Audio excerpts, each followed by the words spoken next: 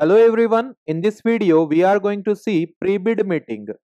So let's see what is pre-bid meeting.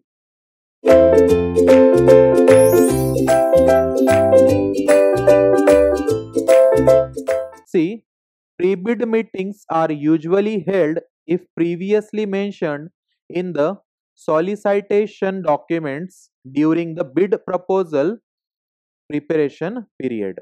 And now what is solicitation? Uh, solicitation. See, it is the act of offering or attempting to execute work, purchase materials, goods or services. See, I will explain you in a simple words. What happens? For example, if a particular work has to be given to someone, particular contractor. So the main purpose of pre-bid meeting is to clarify any concerns if a bidder or any contractor those who are bidding on particular work so if they have any doc eh, any doubt or not they, that can be cleared in this meeting. Or they can ask the questions like the what is the scope of work? What are the other requirements you want? That they will ask.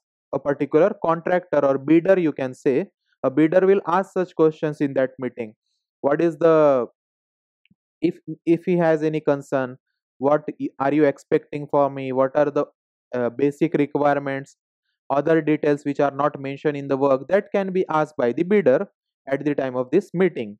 And see a pre-bid meeting is con conducted to clear up any confusion regarding project details scope of work and solicitation of documents.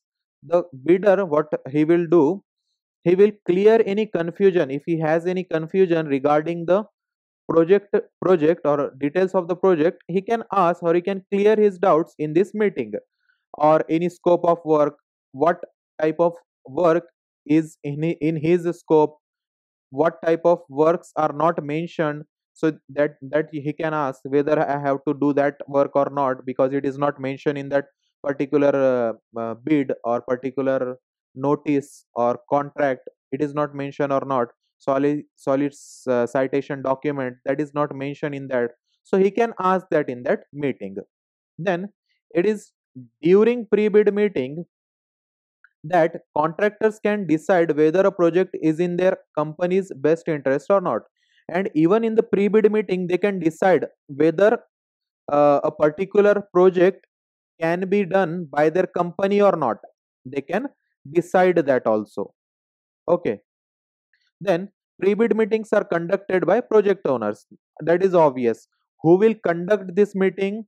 So if you want to standard uh, make a standard definition for pre-bid meeting see it is a meeting which is conducted by the project owners for the contractors to clear their concerns or to clarify their any concerns clear up their uh, their confusions any doubts regarding project details scope of work solicitation of documents. So you can that uh, you can write down this definition. So and uh, in next point you can write that the main purpose of pre-bid meeting is to clarify any concerns the bidders may have. That is the next point you can write and you can write down these points also. So what is pre-bid meeting it is a meeting which is conducted by the project owners for the contractors to clarify any concerns that may they have about the project. Then how contractors are looking for a project that can be beneficial for their company owners are looking for contractors that will be best match for their company. They can check who is the best match uh, even the see owner can check who is the best match for the completion of their work and contractors can check whether that work can be uh, will be uh, suitable for that their company or not. So both parties can check competency of their of that particular work. And this will also be your chance to scope out the competition and see what you and your company are up to against. See you can check the competition whether that particular work will have competition of the contractors or not that you can check. The company can check also then and even owner can also check whether uh, that particular work has competition or not. So this was the video on pre-bid meeting. Thank you.